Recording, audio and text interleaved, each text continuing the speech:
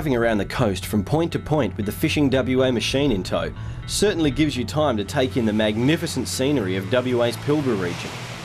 Exmouth is one of our country's great fishing towns, and the Northwest Cape separates the Exmouth Gulf from the famous Ningaloo Reef with its spectacular diving and, of course, fishing, which is great from both the shore and a boat. Our host in Exmouth was Pete Meyer from Exmouth Game Fishing Charters, who specialise in sport fishing for marlin, sailfish, and big Spanish mackerel. As we arrived, the crew were making sure that Indazara was sparkling and ready for two guys from the city itching to get stuck into one of the ocean's fastest fish. The marina in Exmouth is the best we encountered in the northwest, and it's due in no small part to the thriving prawn fishery that supports many trawlers. Pete rigged plenty of mullet baits, which we were going to troll using the outriggers on the game boat, which separate your baits evenly in what's called the spread. What we do is we'll put your line through there, and we can set the pressure on this yeah. to light, heavy or whatever we want it. So with this line, I'll set it just so it pulls out. Okay. it gets the bait away from the boat yeah. and um, lets it swim in clear water.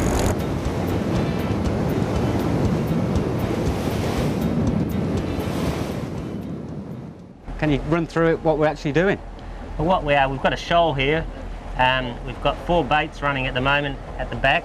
Yeah. Uh, we've got three swimming mullet and one skipping mullet.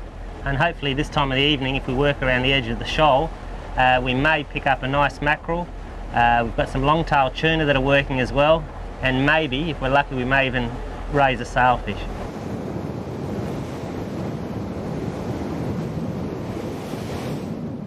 Right here, we, are right on the top of the shoal now in five metres. As you can see on the sounder, there's yep. a few fish starting to happen, mid-surface, mid-water fish. Uh, as we get another 100 or so metres across, it should start dropping off into about uh, 13 to 18 metres. So we're going to try and work along the edge of the shoal and hopefully pick something up along there. So, obviously from England, I've never, what is a shoal? I, I don't really quite, I, is it just a hump on the bottom of the ocean or? Yeah, it's like a big um, formation of coral and bommies and um, oh, huge rocks that just come up and on the around the edge there seems to be a lot of flat sand in this area and it's just sort of in the middle like a little atoll. Right. And the fish seem to congregate there. You can see there's some fish now on the sounder. Yeah.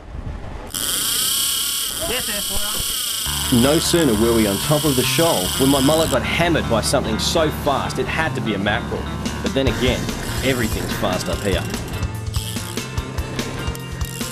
Nothing left to do now but hold on tight and pump that fish into the boat before he decides he'd rather be somewhere else. Now you can see here that I'm lifting the rod well above 45 degrees, which is wrong. Sometimes you don't realise you're doing it, but you can't transfer enough power to the rod this way. As the Mackie comes closer to the boat, it's easy to rush and make a mistake, but remember that they've usually got one more run left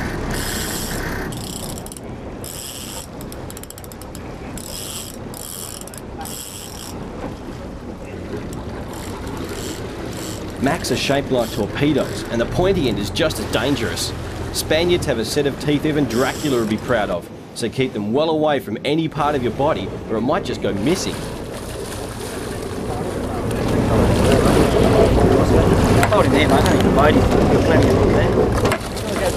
Wow, they told me the fishing was fantastic in Exmouth and uh, Spanish mackerel action at its best. Thanks a lot, Pete. Well, that's one Mackie caught and released, but like a good potato chip, it's hard to stop at just one. So he set the rigger again and went looking for more. But surely we needed a bit more hardware in the water. Okay, this is what we call a witch doctor. It's had a few mods done to it. It's got a few sinkers in it to rat, make it rattle. Yep. Um, it's got the mirrors on the sides which flash. Uh, we'll drop that out the back probably get a mackerel come up and uh, have a go at it, or if there's any sails around, they'll come up and try and smack it around with their bill a bit. Well, they'll actually yeah, have a go at that? Yeah, yeah. oh, okay. We might even see one come to the back of the boat. Yeah. Usually they get hammered. This is the second one we've got. The last one we've got, it's got a lot of teeth marks in it. All oh, right. But they seem to work quite well. Okay. So we'll give it a shot. Yeah.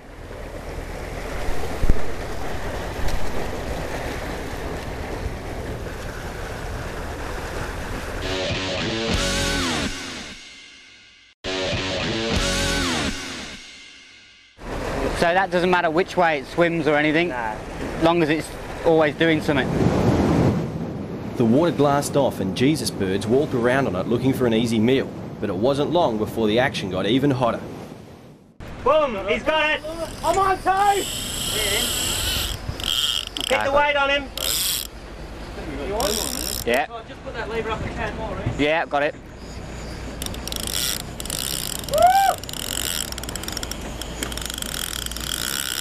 On. You got a Mac?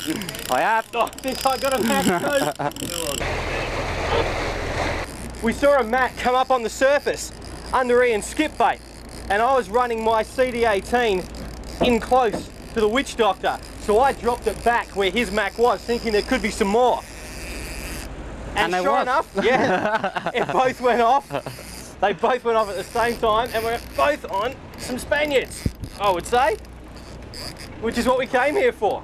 Oh, his tail's coming out of the water there, Steve. Awesome. As I take the weight of the leader, you just shorten her up a bit more. Yeah. Shorten her up. That's Yeah. the way, Ian. Shorten her up. Nice steady pressure. How you going there, Steve? Yeah, mate, I've got my feet, but I'll keep it out wide. Okay. Now that last Mackie was pretty good natured about the whole thing, but we couldn't get two in a row that wanted to come quietly. Could we? Basil. Mackie, Oh my baby. God. Nice, Mackie. I think you might be a taker. Oh, Pete, just a tad. Let him sit right out. Keep his head in the water. Watch it. Watch your hands there, Roscoe. No, hang on, hang on. Let's let him calm down. I'm worried about my feet. How's the teeth, Matt? Will he bite you? Oh, yeah. Right.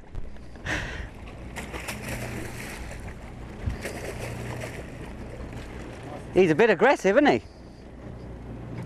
My God. Jaw now, mate. Just rip it out and let him go straight. Hey, don't put your hands there in your mouth at all, guys. Step Right. right. out the way. Nice fish, Ian. Yeah. Well done, Ian. Well done. That's the biggest fish I've caught. Mason's okay. Oh, let's go for the second one. Excellent. Well done, mate. Thanks for that.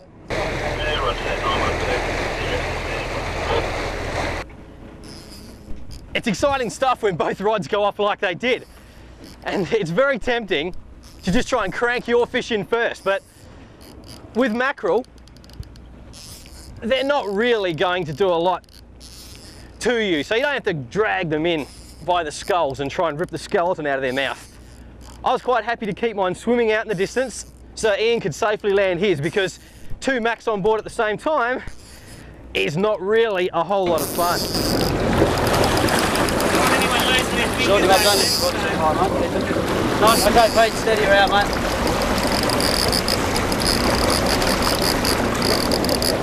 I think Uh, do you wanna- bigger than the last one. Yeah, I think Do you want to keep this one on the table because he might be a little bit tired. You boys want to make that decision? Yeah, mate, I think we're better taking it. Whoa, we go! He's not done. Did we just say he was tired? You got it.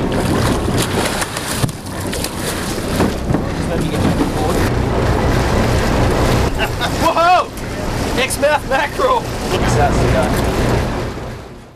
The Spaniard is often the first sport fish a new angler will catch, and that's why we all love them. Just remember, when you get your first one to the boat, keep your hands to yourself.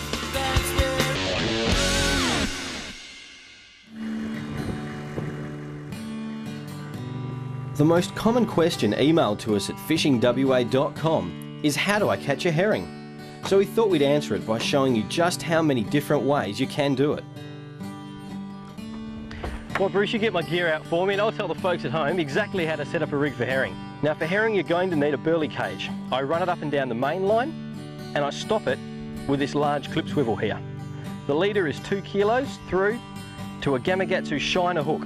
It has a wide gape and the wide gape's ideal for herring because they'll throw that hook if it's a narrow gape very easily. This tends to stop them doing that.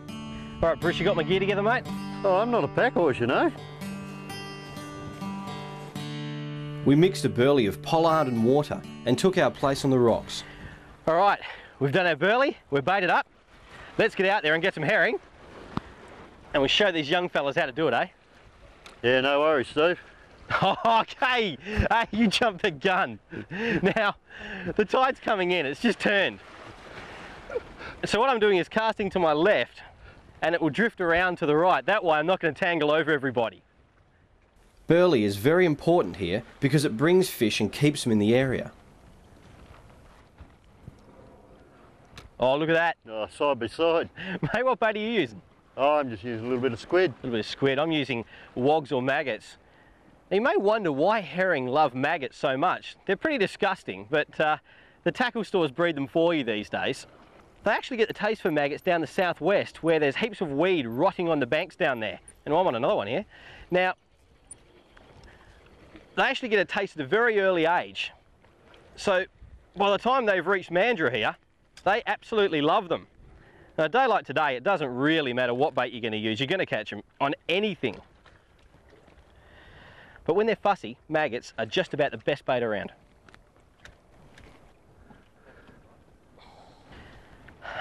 Now, in most cases with these shiner hooks, they not only hook the fish for you, but you'll get them in the scissors of the jaw there.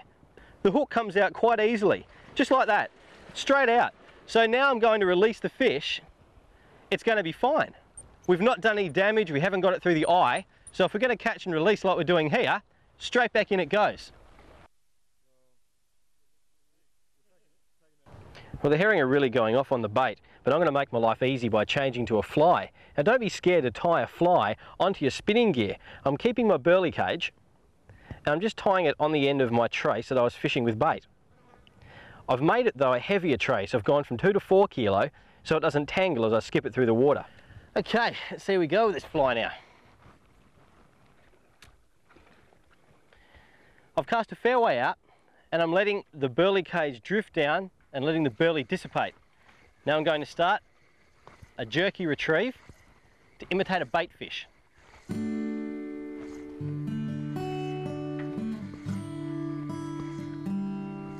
Yep, now I'm on. I saw Matt was skipping a fish across the surface there that he had hooked, so I cast the fly right behind that. Because there's usually one or two following. Oh, he's coming out of the water. What a beauty. Now he might come off. I've got Bruce's line. And there you go. It works on the fly as well.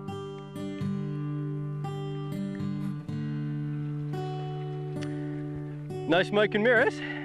These herring love flies. Even if you use them on spinning gear like this, you don't have to be a fly fisherman. You can use them on spinning gear and the herring will still love them. They're just like lures.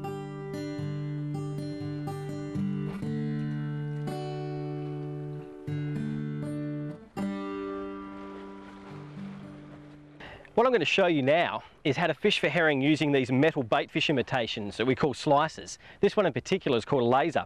And uh, the herring really love the blue, but it's also got a bit of pearl flash, which will attract them from a distance when the sun hits it. Now let's have a few casts with this and see whether they attack that like they've been attacking the bait. All right, well, we'll have a couple of flicks with the metal lure. See if I can't show you how these work. These, of course, imitate small bait fish.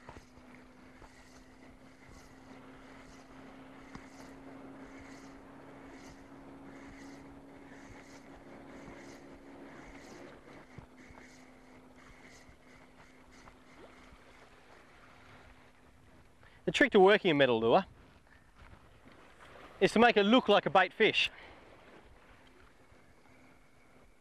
Let it sink down, just so we've got a bit of angle so it's not skipping across the surface and get down nice and close to the water.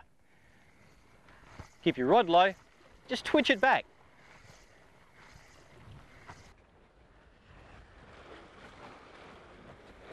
Oh, he's hit that lure hard. Oh, Oh, he's only lip hooked. Will he get him in? Oh, what if I'll get him in? No. No, that's the danger. See if we can get one out of the water to show the folks at home. Oh, yep, here we go. I'm going to land this one, Bruce. I'm going to land him. Oh, yeah. Righto. Oh, I got one out of the water. Good catch. Well, now see that one, oh, he's got all three hooks, but the barbs are crushed, so they should come out quite okay. Oh, he wanted that. And there you go. What a beauty, eh?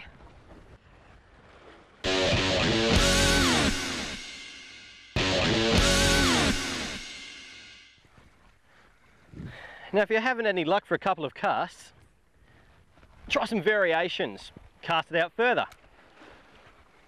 Let it sink down further. Wind it faster, wind it slower. Try anything. You never know what's going to work for you.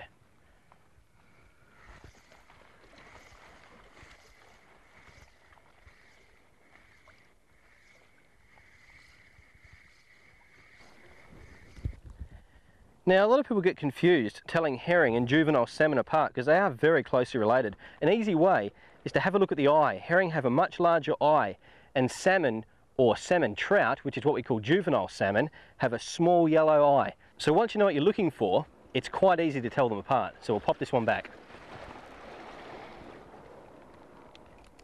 There you go, little fella.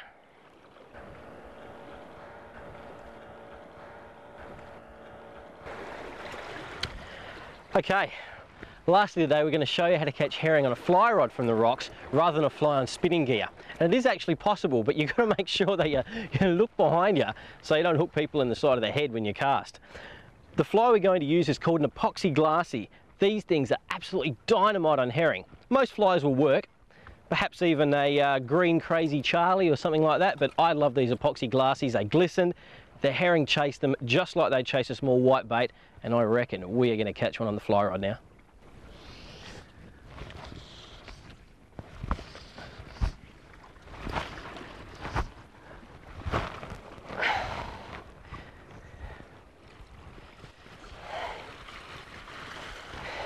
Now working the fly off the rocks like this, it's an ideal time to have a go at the herring when they've come right in close to follow the burley. They're too close for a lure and bait might just sink down and snag me up. So with a fly, it will just sink gently down next to those rocks. And there's a lot of herring right under these rocks. It's just a matter of whether I can get them out or not.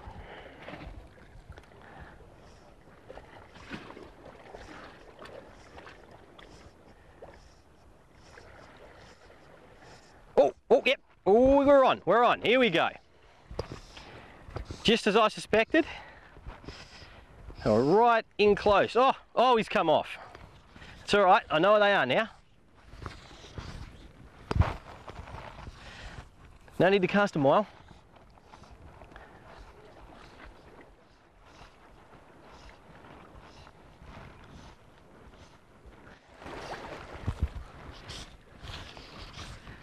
if you're going to take on a fly fishing experience off the rocks like this, you got to make sure there's not too many people around. So probably do it on a weekday. My good friend Bruce is throwing burley in from the side, trying to get the fish within casting distance of my fly. I'm keeping my back cast nice and high and shooting out across the water.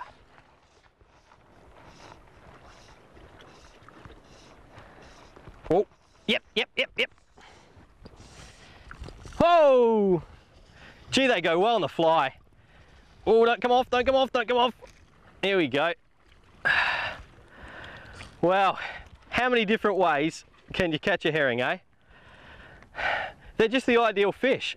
If you want to spin for them, fly fish for them, bait fish for them, whatever you want to do, the herring's for you. I think we'll put him back, eh?